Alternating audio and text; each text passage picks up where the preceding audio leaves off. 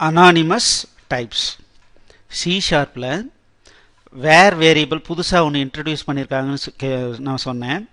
எதுக்காக இந்த வேர் அப்படிங்கிறது வேணும்? நான் இன்ட்டுனா இன்ட்டுனே டிக்ளேர் பண்ணிக்கலாமே அப்படிங்கிற மாதிரி நீங்கள் யோசிச்சிருந்துருக்கலாம்.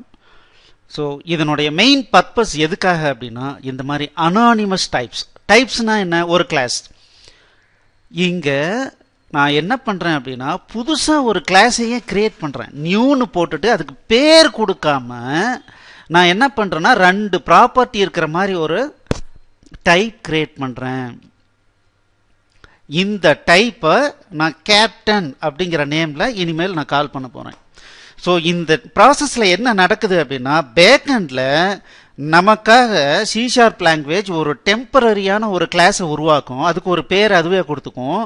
பட் நமக்கு அதனுடைய ரெஃபரன்ஸை மட்டும் கொடுக்கும். நான் அதை வந்து கேப்டனில் வச்சுருக்கேன். இப்போ யோசனை பண்ணுங்கள் இந்த அனானிமஸ் டைப்பை இந்த வேர் அப்படிங்கிற டைப் இல்லை அப்படின்னா வேர்ன்ற டேட்டா டைப் இல்லைன்னா நான் இன்ட்டுன்னு ஸ்டோர் பண்ண முடியாது. இல்லை நான் வச்சுருக்கிற ஒரு கிளாஸ் நேமை வச்சு கொடுக்க முடியாது. அப்போது ப்ராப்ளம் வரும்.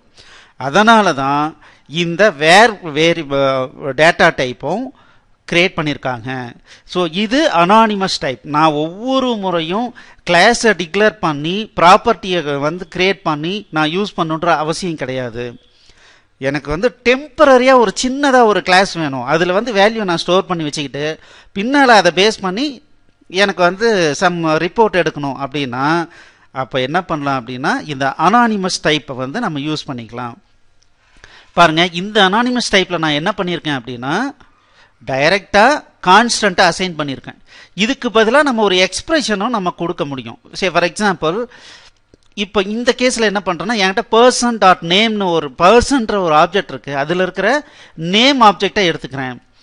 கமா ஏஜ் ஆப்ஜெக்டை இங்கே எடுத்துக்கிறேன். அப்போ இந்த ப்ராப்பர்ட்டி எடுத்துக்கிறேன். அப்போ என்னாகும் அப்படின்னா புதுசாக க்ரியேட் பண்ணுற அனானிமஸ் டைப்பில் நேம் அப்படிங்கிறதுலே ஒரு ப்ராப்பர்ட்டி கிரியேட் ஆகிட்டு அதில் இந்த ப்ராப்பர்ட்டியில் என்ன வேல்யூ இருக்கோ அது அசைன் ஆகிடும் அதே மாதிரி இது பார்த்தீங்கன்னா ஏஜ்ன்ற நேமில் ஒரு ப்ராப்பர்ட்டி கிரியேட் ஆகி இந்த பர்சன் டாட் ஏஜில் என்ன இருக்கோ அது ஸ்டோர் ஆகிடும் சரிங்களா? அப்படி வந்து இதாகும். அப்படி இல்லாமல் say for example comma salary equals five thousand அப்படின்னு நம்ம கொடுக்கலாம். இந்த இடத்துல நான் இன்சர்ட் பண்ணுறேன் அப்படின்னா என்ன ஆகும் இது கூட அடிஷ்னலாக ப்ராப்பர்ட்டி சேலரின்னு ஒன்று கிரியேட் ஆகிட்டு அதில் ஃபைவ் தௌசண்ட் ஸ்டோர் பண்ணும். சப்போஸ் இந்த ஃபைவ் தௌசண்ட் இந்த இதுக்கு பதிலாக நான் லோக்கலில் வேறு ஒரு வேரியபிள் இருக்கிறேன் வச்சுருக்கேன்னு வச்சுங்களேன் சே ஃபார் எக்ஸாம்பிள் கேல்குலேட்டட் சேலரின்னு ஒரு வேரியபிள் வச்சுருக்கேன் அப்படின்னா நான் அப்படியும் கொடுக்கலாம்.